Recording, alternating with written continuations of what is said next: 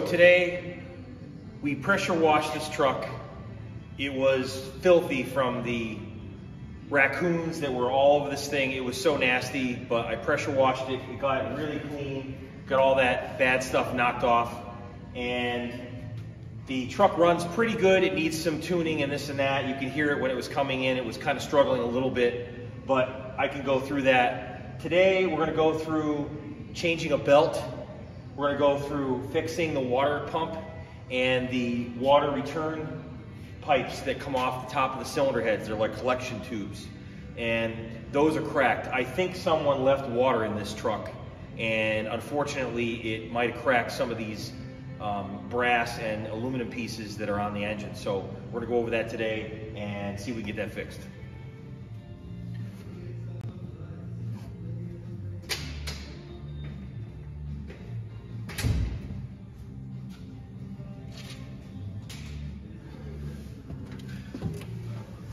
Okay, so we're gonna try to take this water return here. This is a water collector and the water coming out of the cylinder banks here for number one, number two cylinder. Same thing with three and four, five and six. They each have one of these collectors and the water comes up and goes, returns back to the radiator. So we're gonna try to take this, uh, there's no water in here right now because it can't hold any water. I'll actually show you this little crack here. Actually, it's a big crack. You can see right along the bottom, it cracked all the way, about maybe a third of the way around. So we're gonna fix that. And it's got a little bit of a crack on that one, not too bad. And then I think the back one might be okay.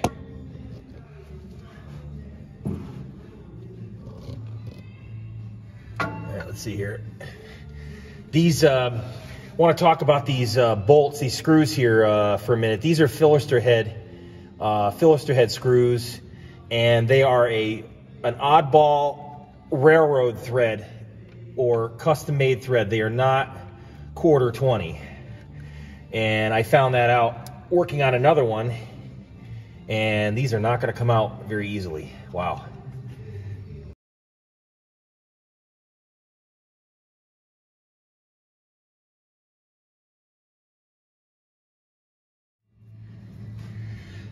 This is a uh, Bernzomatic torch with MAPP gas. And I use this in the shop all the time. I highly recommend getting one of these and get the one with the trigger here and this adjuster here. You can adjust the flame.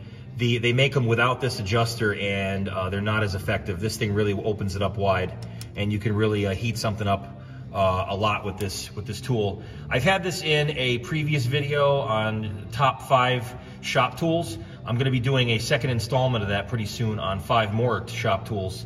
And um, so keep, uh, keep an eye out for that on future videos.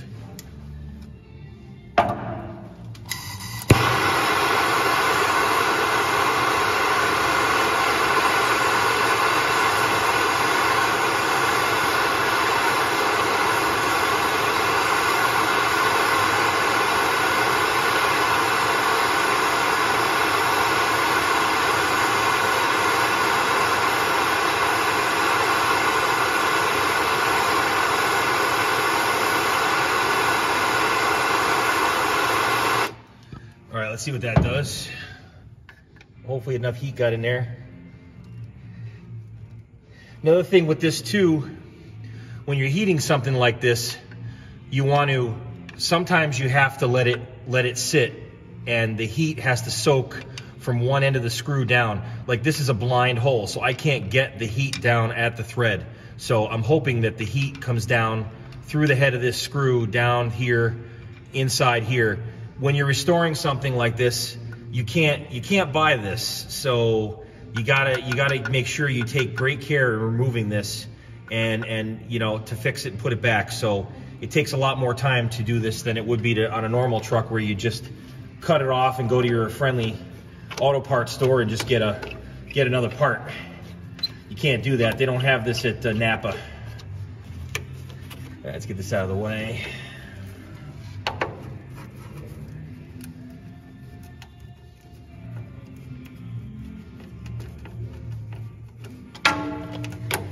This guy out of the way. Yeah, these hoses, these hoses surprisingly are in decent shape. Someone must have replaced these hoses, you know, in the last 30 years or so, 40 years. They're definitely not originals. A lot of these trucks I get in here, the hoses are still original from the 1930s and 1920s, believe it or not, and it still works. Um, but yeah, this one's not uh, not going to be that case.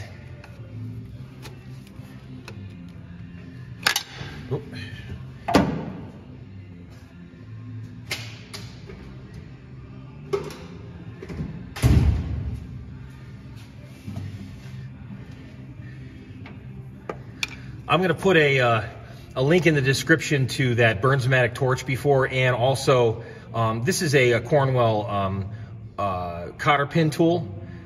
I bought one of these years ago when I worked for Detroit Diesel, and the the end here, I never really used it for cotter pins. I do once in a while, but it really works well for taking rubber hoses off from a radiator.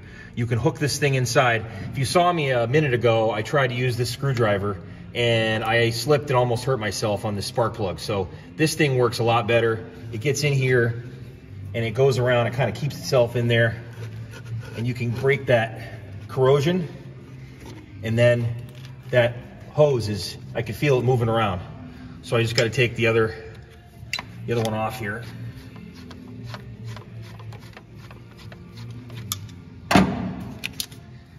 Put this in here. And hopefully this comes off. There it goes. Pull in the center, pops right off. Let's try this one here. This one's already loose, so I don't need the tool. dust coming out.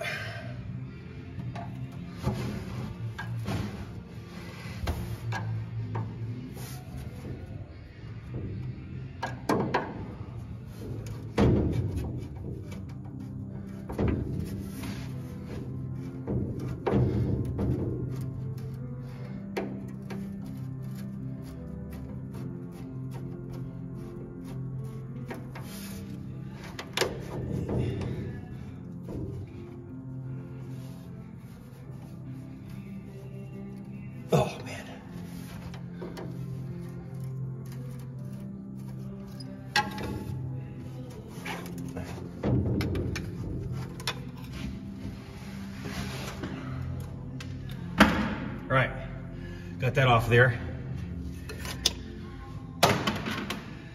Now back to these screws. Let's see if this thing moves.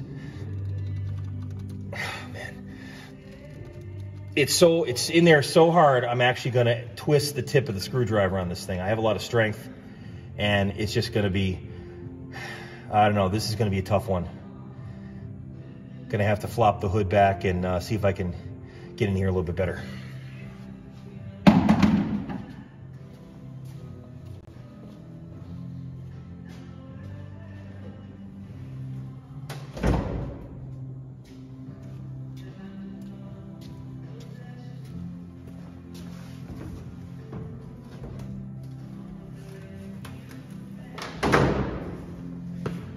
one disadvantage of an accordion hood, you can only open one side at a time.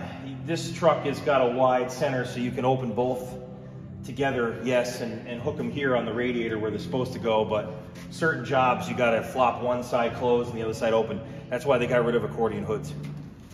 All right, so since I'm uh, fooling with these cooling passages here, there's a tray uh, you can see right here, and this tray is a spark plug tray and all the spark plug wires come from the distributor and also the magneto here on this one.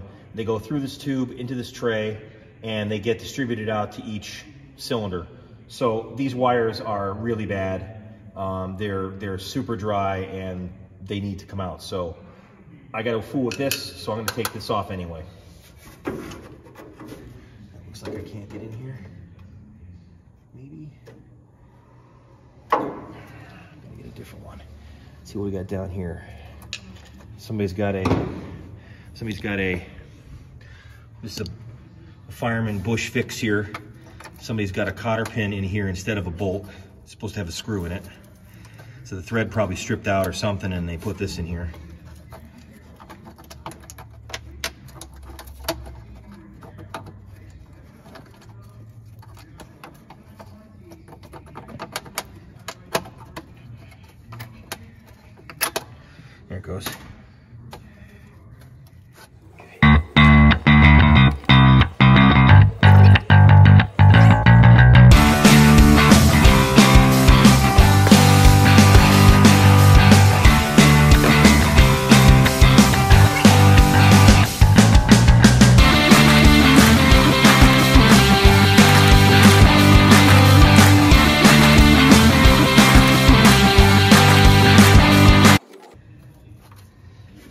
This is like a, a chrome, a nickel plated or chrome plated tray here, and it covers up all the wires. Down here and check it out. You can see all the wires come up through that tube, and then they get distributed out amongst the different cylinders as it goes along. And then there's the tube down here for the magneto.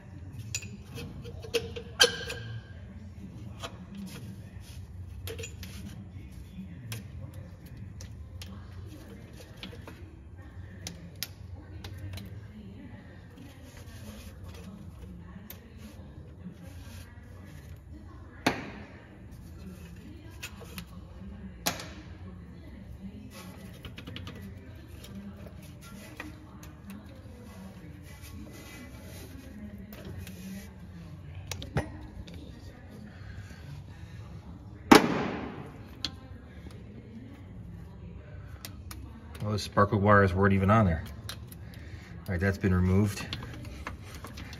Yeah, this thing's. Let's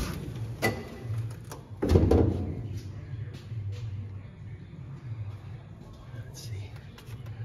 Pull these guys off.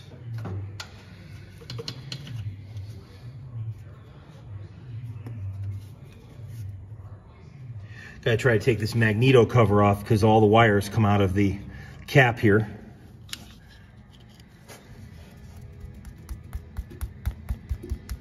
Boy, this thing's been on here a while. I got the straps released.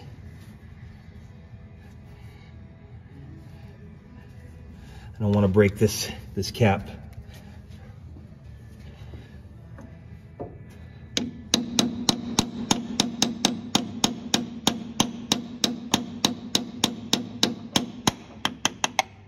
There we go. Good, it came off.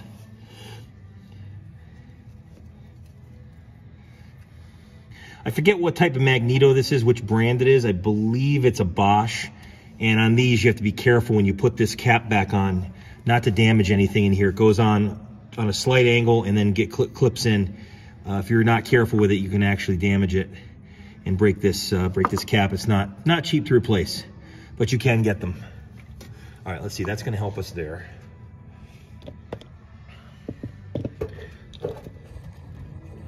Okay, now we got the distributor cap. Pop this.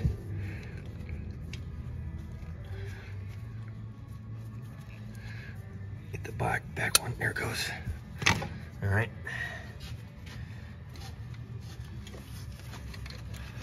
This guy's to come up. And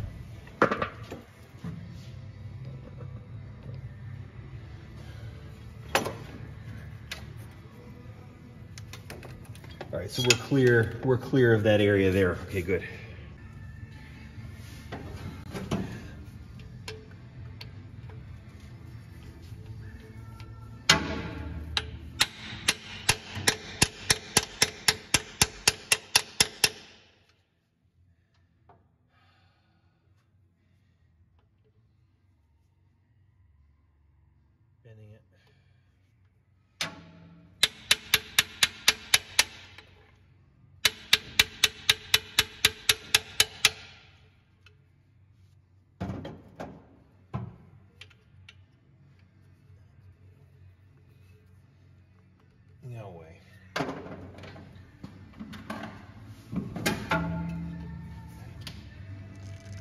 No way. No way.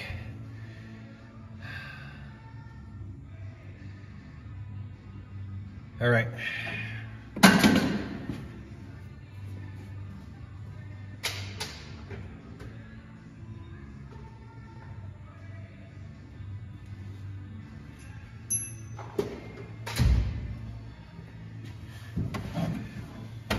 Okay, so I've determined that these screws right here are not gonna come out.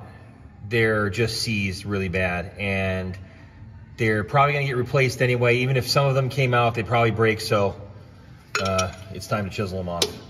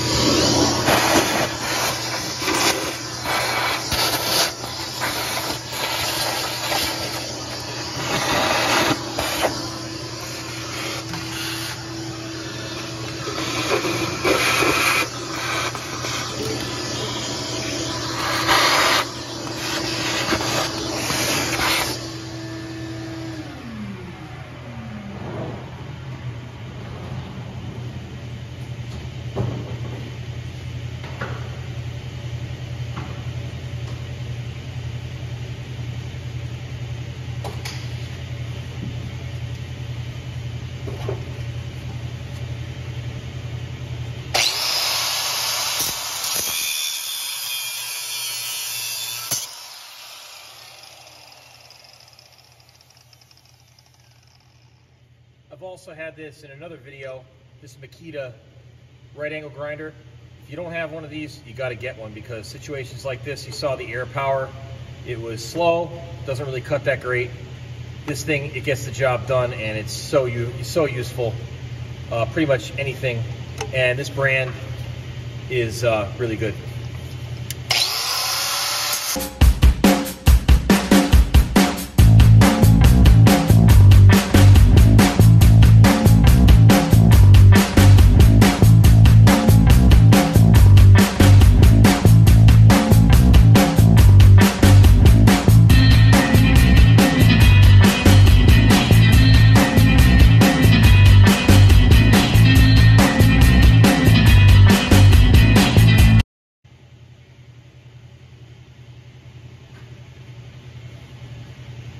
That's all the screws.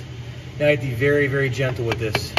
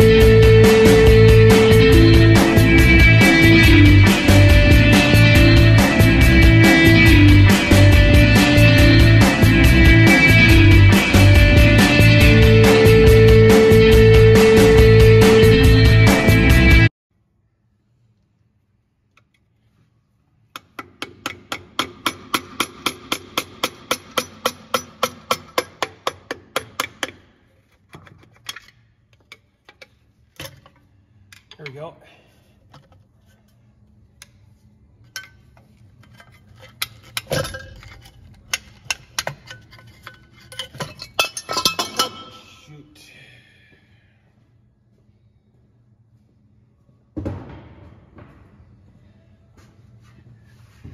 Okay, I kind of thought this was going to happen because that was cracked so badly.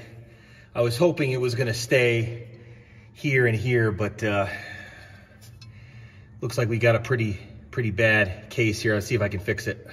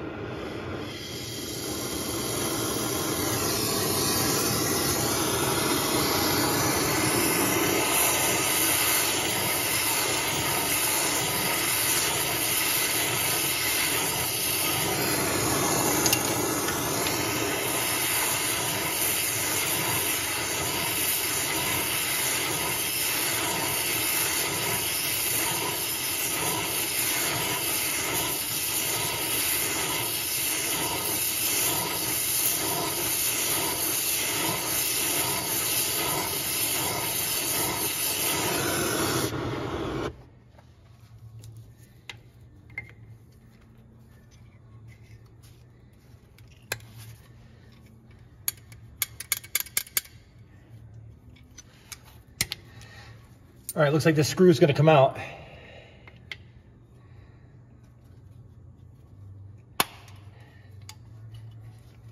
Now this screw being a brass screw, it's going to help come out of this material. Yeah, if you have dissimilar materials of certain types, say this was aluminum and uh, steel, uh, not so much because aluminum reacts with steel and it makes a lot of really bad corrosion and oftentimes you got to drill them out. It's nasty.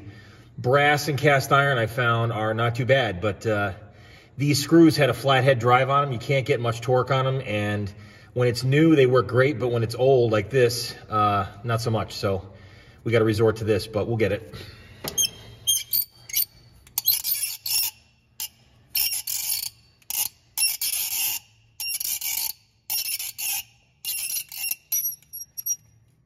There we go. So I just wanted to talk to everybody about uh, threads for a minute. Um, I got a little close up here with the camera. So if you don't know anything about threads or how to tell how to measure a thread, I'm going to show you now. Um, and if you're somebody that does know threads, you'll know that uh, threads like quarter 20 or 5 16ths 18, uh, those are standard threads, uh, all created by the U.S. Navy back in the 1800s. But um, without going into a crazy lesson here on this, um, if you're working on something like this and you want to find out what thread it is, you got to check it with a thread gauge, which looks like this. And it has all these different things on here with the different number of teeth it's labeled and they get coarser and finer. And you got to use this one for fractional and there's one for metric. So if you're somebody that works on metric stuff, uh, you can get one of these. It's for metric screws. So on this screw here, I know this screw is not a standard screw. Now, looking at it right now, you might think it's a quarter 20 or something, but it's not. It's an oddball diameter and an oddball number of threads per inch. So um, to tell the diameter of a threaded rod or a screw like this, uh, this pertains to machine screws, not wood screws. You take your um, dial uh, caliper here, this is an electronic one, and make sure these are clean. Yep. And you're to measure the OD here just to touch the threads. And you, you don't want to use the points here because they could go inside the thread and give you the wrong dimension. You want to use the flat part of this here. And you go against the thread. Just a light pressure. And this comes out to 259, 260 thousandths, which is uh, 250 thousandths is quarter inch. So this screw is an odd size. And if you want to find out what your your decimal number turns into a fractional, what I do is just go, uh, you can use a converter online on, on your phone, or you can just, you know, um, divide out, uh, try to find the closest 30 second size this is. Um, and, and we'll do that in a few minutes. And then now we want to find out the threads per inch. So how many threads per inch? So I'm going to get the gauge here and find out what thread they used here. I'm going to go try 16. Nope, it's finer than that. So we'll go to 18.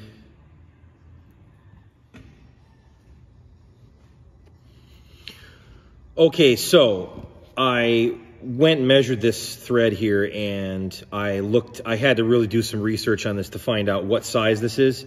This turns out it's a number 16-22 screw.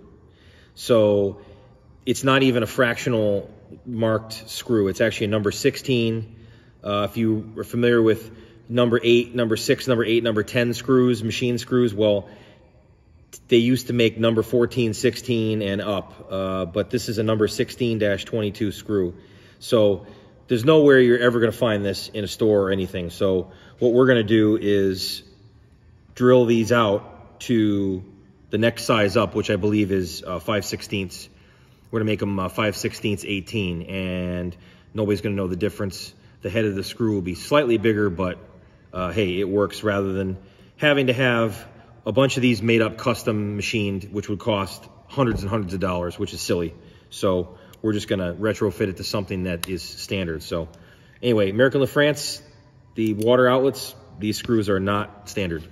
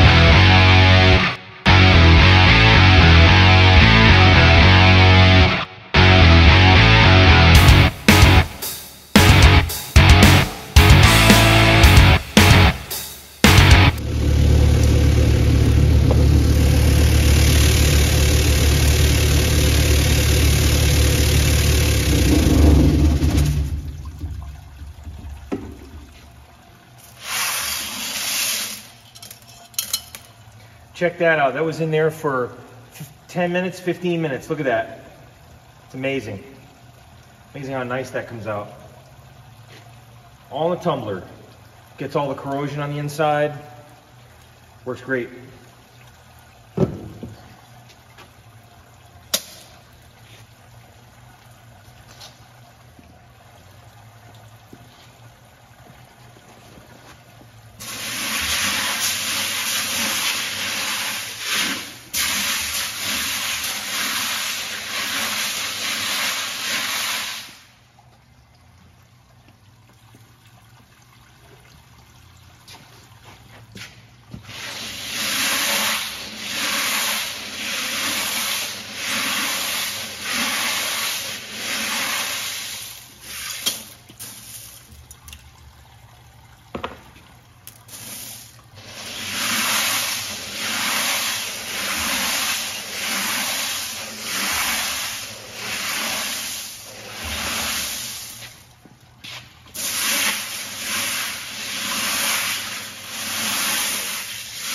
One bad part about putting small parts in here, you can't find them.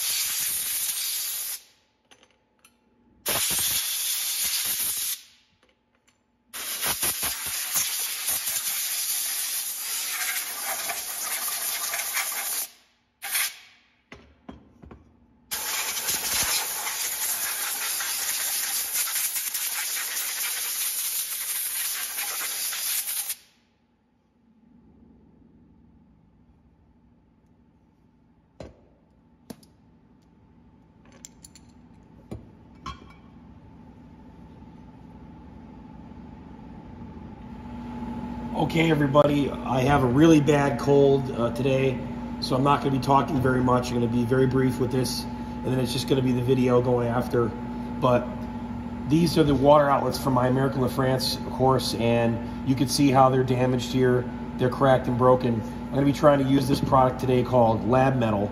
It's um, made by a company called Alvin. It's liquid aluminum in a can, and it's really kind of an interesting product. I've used it on a lot of intake manifolds and aluminum engine parts, water pumps, things like that, uh, that you can't get. You can't buy a new one. You need to make a small repair. Um, this stuff's really good. It, it, it's machinable when it dries. It cures up in about uh, 45 minutes to an hour, and it's like a aluminum paste in a can here, basically, as you can see. And um, so you add, you have a little solvent you put in there with it, and you make this um, this aluminum here goes on and it, it turns like solid aluminum when it's dry. So uh, it's a pretty unique product. Um, check it out if you need it, Alvin Lab Metal. Um, but we're going to go ahead and try this.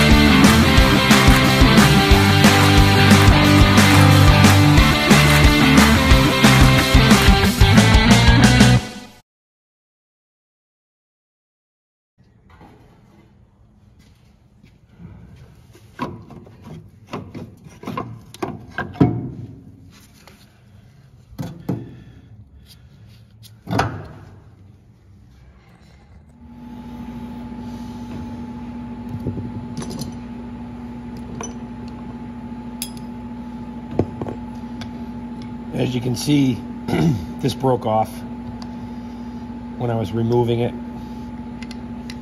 Different size nuts.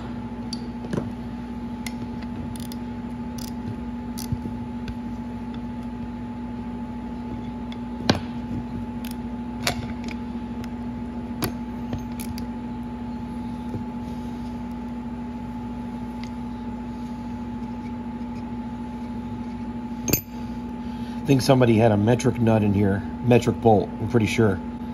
Because that doesn't fit any of these American wrenches.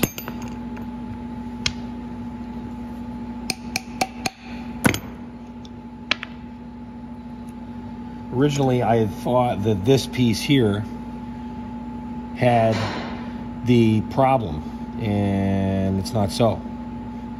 It's the water pump itself, which really sucks, but We'll see if we can fix it. Someone's already made a repair here with fiberglass. It's actually not bad. Looks pretty good. I'm going to leave it alone.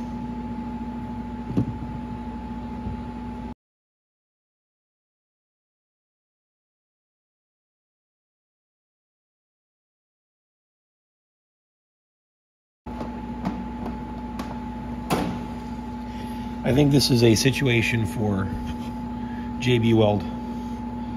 It's going to be the easiest thing to do.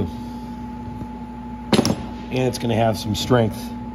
Whereas the lab metal, it is strong, but this has got to be, this is only two points, whereas the other piece has got eight points. So I want to have something real strong here.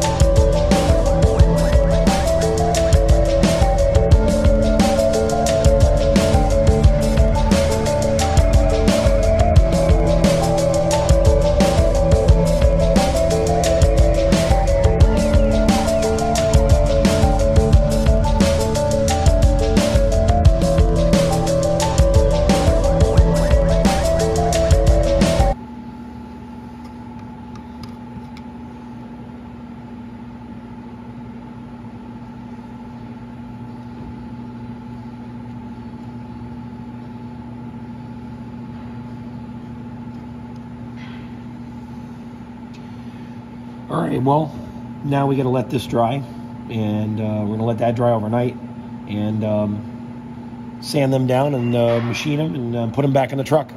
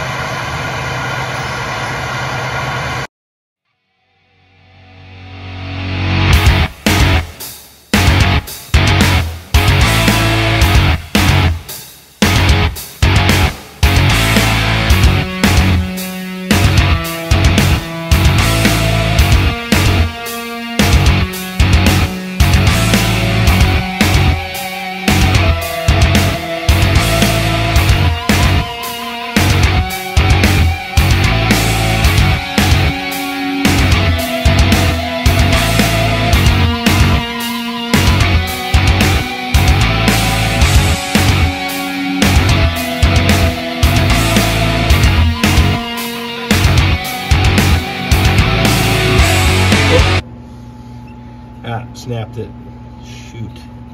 Snapped the screw. Darn. Didn't want to do that. Well, the tumbler just stopped. Let's go check the tumbler.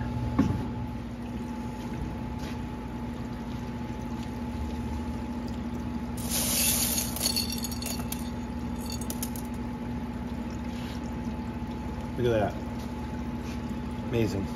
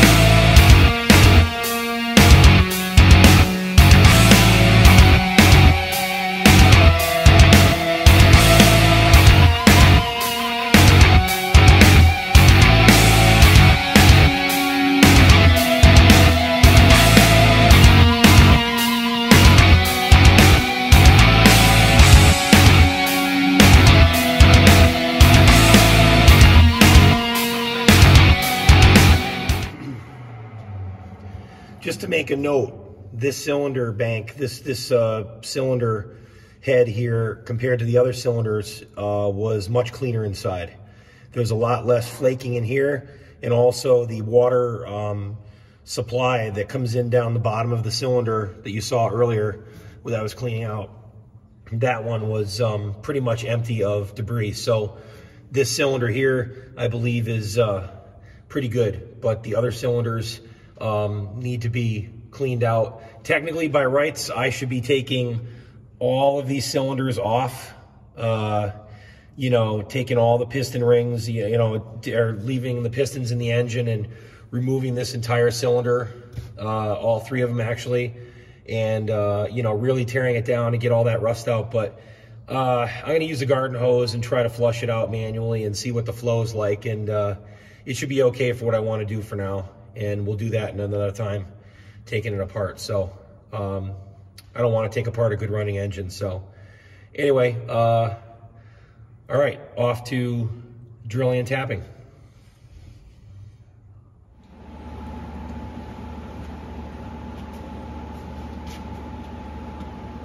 Okay, everybody, so because of time constraints, we got a lot to do on this, a lot of machining. We had some broken screws.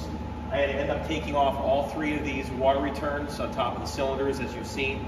And we're gonna have to make a part three video for this truck. Um, there's just been so many things we have to fix on the cooling system. I may have to take the radiator off, I'm not sure, but we've got some a lot of rust pieces and things inside the cylinder heads. We're gonna be cleaning out the cylinder heads. I'll show you how to do that and a bunch of other things. And then um, hopefully in the next video, we'll be able to have this running and driving. We'll take it for a ride. So stay tuned, subscribe, and always remember, keep that old iron running.